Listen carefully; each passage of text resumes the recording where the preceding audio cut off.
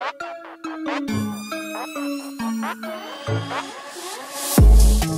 everybody, Donny coming at you. Today I wanted to take a quick minute and show you the uh, resting shed, the he shed, she shed, whatever you want to call it. Um, beautiful sunny day here in southern Mississippi and uh, South Mississippi. And um, when I did my last video, I talked about building a shed um, that I could put an air conditioner in, a little refrigerator in, something pretty economical where I could come out from in the sun, in the heat, take a break, and um, just relax a little bit. And I had several people ask me about this shed, so figure I'd do just a quick little video here for you guys and gals and uh, and let you see what it is that I built. So I'm going to flip you around and um, and just kind of show you what I built, what it is, and kind of give you a rough estimate at the time of what I built. Um, prices have gone up quite a bit in the last few months since I have built this uh, shed. So please, um, this is October the 1st, 2020. Excuse me. Ah, breakfast time. Uh, October the 1st, 2020, I built this shed about three months ago and lumber was probably half the price. So take that as you will and uh, yeah let me show you guys uh, guys and gals what I'm what I built here so what I basically built was a 10 foot by 12 foot shed now take in mind I still need to paint it still need to do some uh, touch up work to it. I want to find me a a handle a twist type handle a lock that goes on the front door. That way, when you close the front door, when you close it, it, it automatically, um, you know, you could twist it to lock it or whatever, but I haven't really seen a ton yet. Now, I haven't, I haven't searched a whole bunch either, um, but maybe there's something out there to see. Uh, maybe some of you guys can comment uh, below and let me know what kind of hardware I need to be looking for. And, uh, to make it easier to latch it when I do shut it. The shed is 12 foot wide, 10 foot deep. I used four 4x4 12s as my pontoons or base, if you will, where I can move this thing around once we're ready to move it. Because right now, we're right on the property line of my neighbors um, because the power pole is right here. And this is where I put my temporary power pole. So this was the most convenient location for me to put this. That's why I put it here. So it's basically just sitting up on a bunch of scrap blocks and wood and things like that. I leveled it up. Two by six treated um, floor structure on 16 inch centers. And like I said, four, four by, um, four, four by fours, 12 foot long, uh, two by six on 16 inch center uh, floor structure on top of that is three quarter plywood, but it's just regular plywood. It's not treated or anything like that because it's kind of off the ground. I used um, 3 8 T111 siding to side it. And um, the only opening in it for security reasons was where is where the air conditioner goes. Let me bring you around this way a little bit. And as I was saying, I still need to finish the fascia, put something on it, something on the, uh, and, and, and clean up the outside and paint it or stain it or something to protect it, do my soffits and get those done. All of that is two by six structure. I did two by four walls. I'll bring you in in a second and show you. I did two by four walls on 16 inch center. I did two by six roof, just a flat roof. It drops about, uh, about eight inches in that 10 or 12 foot span. So plenty of runoff. Uh, has a flat rolled roof um, with the self-adhering back on it. So it really works well. It's stuck down good. I have no roof leaks, no issues, no problems. Just a decent little shed. I do have trim. I'm gonna trim out the corners just like I did uh, the front door there. Let me back up a little bit where you can see. And um, I'm gonna trim out the corners. I'm gonna do the soffits and all that, and it'll be a nice little shed. At the time I built this shed, I'm thinking that it was around $800, maybe 900 bucks, but it was definitely under thousand dollars. So as we go in, as we go into the shed, uh, the he, he shed, she shed, as we like to call it.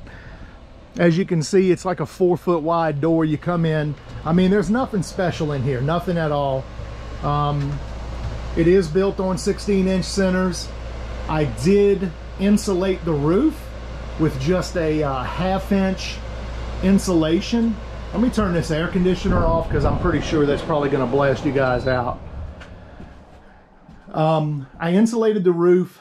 I didn't really try and make it fabulous. I already had the lights up and then my wife said, you need to insulate the roof. It'll really help it in here.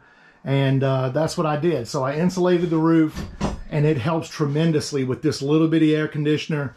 It's a, um, it's an Arctic King. It's one I already had that I had in my previous little space. It's got an auto function and energy saver and all that. So when it's really hot outside, I just leave it on and it'll cycle through its deal and and uh, yeah, it's good to go after that. Once again, two by four walls, braced. Um, have all our windows in here for the for the house so you can see how close it is to the house. I can come in here, I can rest for a few minutes, chill out, and uh, it's really been a huge help. I have I keep the compressor in. I don't have to wheel it in and out. As you can see, all the dang tools and everything all over the place. It is a mess um, because at the end of the day, I just throw all my stuff in here, lock it down, and walk out. But it's nice not having to roll things out. I just the hose stays out. I just plug it in in the mornings or whenever I get here. Starting to hang up some tools, some stuff. Awesome thing right here. $100 fridge. Keep it stocked with uh, waters and uh, electrolytes and all that kind of stuff. Got to have my little man Dawson's apple juice in there. Um, I keep some of these Hydralyte packets and uh, you know i built a little shelf to put that on and, and it really wouldn't take much to organize it and to get it straightened up in here. It's just that's not my main priority right this second if you catch what i'm saying. But i'm able to come in chill out with the air conditioner and uh, just kind of take it easy. You know what i'm saying? It, it really makes a huge huge difference um, in the way that i feel as i'm working on this house during the day like I said, I'll go out, I'll work for an hour or so, come in here and just sit for a few minutes. I have some snack crackers and stuff in here. Um, that way, if I feel like I need to just something quick, just to kind of chill out for a minute, I'll uh, take a break for 10 minutes or so. I don't keep it freezing in here because going in and out of that freezing cold, you're just never gonna, it's just not gonna be a good idea in my opinion. Um, but I keep it like at 73, 74 degrees. And uh, yeah, I'm able to walk back out, able to feel refreshed. I go out, do a little more work. And if it's only 30 minutes, it's only 30 minutes. It doesn't, you know, I'm on my own time frame here getting this house built. So just wanted to share with you folks this simple, simple build. I don't have any draw. I basically kind of, I don't even know if I sketched this out, to be honest with you. I knew what I kind of wanted to build. I threw me a little material list together and um, just started building it. It took me a couple of days to throw it together, and it really makes a huge difference in the way that I feel and um, and and my productivity. So I'm going to turn that air back on, and uh, yeah, it's pretty energy efficient. Well, that sun's that sun's kicking out here, but yeah, pretty neat little place. It's only 30, 40 feet or so away from the uh, from the house. That's my neighbors over there. And um, yeah, it's funny. We're sitting on several acres out here. They're sitting on three acres. We're sitting on close to the same two acres or so, two and a half acres. And you're still this close sometimes. But as you can see, the house is over here. Um, and we have property that goes way back. All those woods right there are ours. It goes back a couple hundred feet beyond that. But once we move the shed and use it as a garden shed, once I build the shop and the driveway comes in, we'll probably end up just putting some kind of simple fence up um, that allows us to give a little bit more privacy out here. But uh, they're great neighbors, good people. And um, yeah, there's the power pole you can see. That's my temporary power pole, but here's the power where it comes in. So you can see why I put the shed right there. It just, it made sense at the time. Anyway, thought I'd share that with you folks. Uh, if you have any questions about how I built it or anything like that, leave uh, comments in the uh, comment section below. And uh, if you have any ideas about some hardware for that door, uh, like a twist type, you know, more of the commercial shed buildings, um, yeah, give me a holler and let me know what the deal is. And, and real quick, speaking of the commercial buildings and things like that, let me, let me flip you guys back around to me here. I got me a new camera, so I'm trying to make sure that I'm working it right.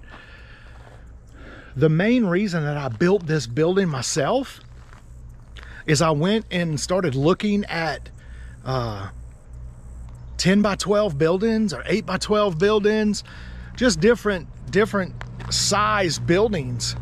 Uh, I was to pick up a, a commercial pre-built, I guess you would say. My goodness gracious, they were very, very expensive. Um, a 10 by 10, I believe, was around um, around 3,500 bucks. A 10 by 12 was around $4,500.